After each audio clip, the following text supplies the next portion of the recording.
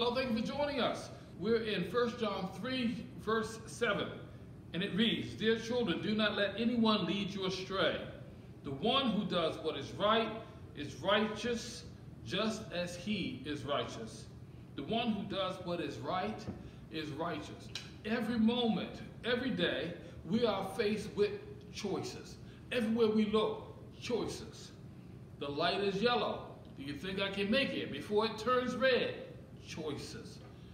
Uh, do I have to stop at that stop sign? If nobody's around, choices. Do I have to look at this or that, even if it's not good for my soul? Choices. We are faced with choices every day, all around us. Choices. What we want to do and what we're called to do is look at our choices and choose right and choose to be righteous and choose to do the next right thing and follow Jesus and love our neighbors. Thank you for joining us. We'll see you next time.